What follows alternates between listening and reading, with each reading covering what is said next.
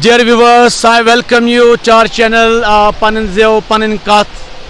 Um, myself Shaukat Ahmed. Today we are at a special place in Gurez.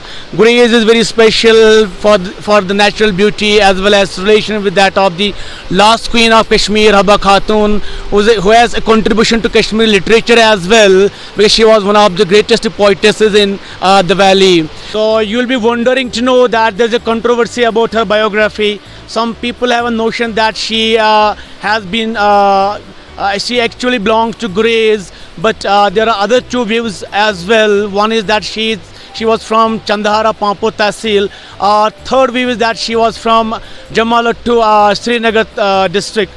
So we are here just at the uh, edge of Habba Khatoon Peak in Gurez. Uh, close to this peak is the Habba Khatoon uh, Spring, which you can see the Habba Khatoon Peak, how beautiful peak it is in the Gurez Valley.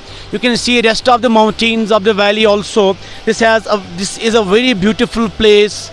Uh, everybody would love to stay here and visit this place. It is full of gushing streams and tall trees and huge mountains and uh, very broad valleys which are very uh, lush green and beautiful.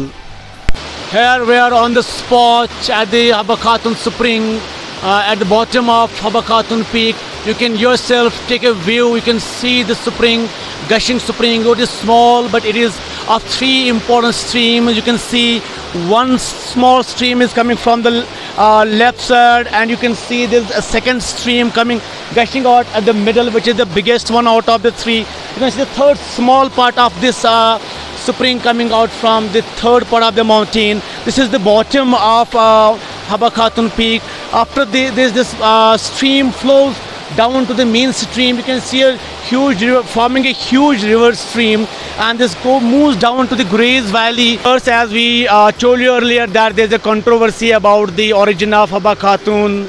Uh, Chak dynasty uh, has been traveling through this valley, which is called a Chaknala after the name and it, th- that is why it is possible probably Habba Khatoon would have traveled with the dynasty because she was the queen of Yusuf Shah Chak and she might have stayed here with this uh, at this spot with the spring and uh, around this peak. That is has been named as Habba Khatoon Peak and Habba Khatoon Spring.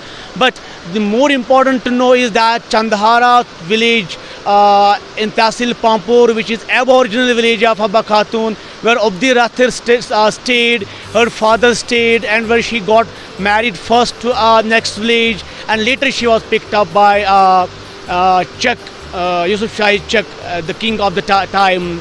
And you people also need to know that there is another spring at her aboriginal village Chandhara, uh, which is a bit smaller, which is not a uh, big spring, but also people also travel that place uh, as a relic. It is a very important relic and heritage uh, with regard to Habba Khatoon.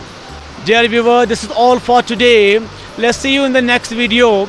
Uh, till that time, don't forget to uh, subscribe our channel Panin Zyav Panin Kath and please press the bell icon to get the latest notifications for the next videos. Thank you very much.